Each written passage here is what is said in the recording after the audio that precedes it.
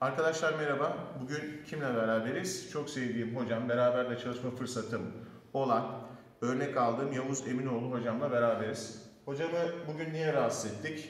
Ant otomasyonda yakalamışken bir video çekmem lazım hocam dedim. Biraz e, istemedi falan ama e, ikna ettik. Yavuz hocamın 1500 ile ilgili kitabı çıktı. Daha yeni, benim elime yeni geçti. Şirkette bildiğim kadarıyla yeni dağıtıma başladı bu kitabı. Başladı. 1500'e özel çıkmış Yavuz hocamın bir kitabı. Hocam bu kitapta neler anlattık?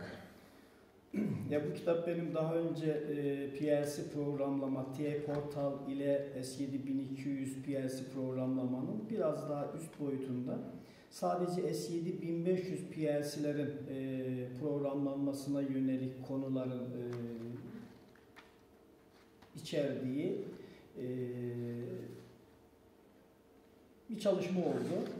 1200'de anlat, anlatamadığımız bazı konuları bu kitaba aktardık ve sadece S7500'ü e, ilgilendiren hardware yapılandırması olsun, ekran yapılandırması olsun, S7500 PLC programlama dillerinde farklılık olan e, STL programlama, graph programlama gibi sadece S7500'e özgü konular biraz daha detaylı olarak anlatıldı.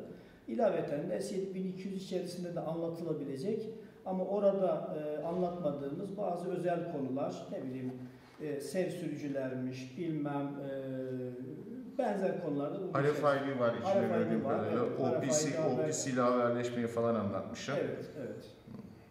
Hocam peki şimdi ben PLC öğrenmeye yeni başladığımda direkt bu kitaptan mı başlamam lazım?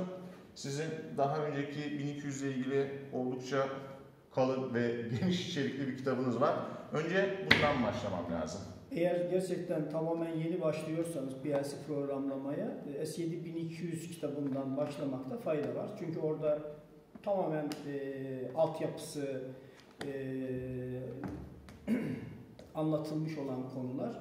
E, diğer kitabımda ise 1500 e, PLC'ye odaklanma, odaklanarak hazırladığımız hazırlandığımız bir kitap.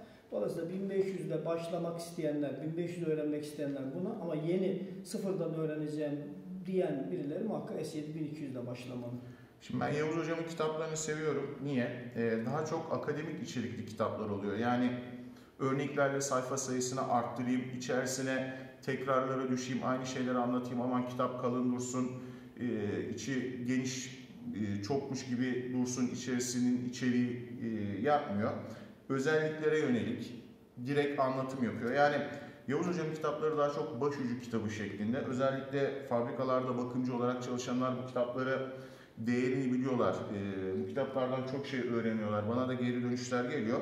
Bir 1500 ile ilgili başucu kitabı daha Yavuz Hocam'dan çıktı. Bunu da kitaplığımızdaki yerine koyuyoruz. Yavuz Hocam'a bu kitap için ve diğer kitaplar için çok te- teşekkür ederiz. Sağ olun hocam. Sağ olun. Teşekkür ediyorum.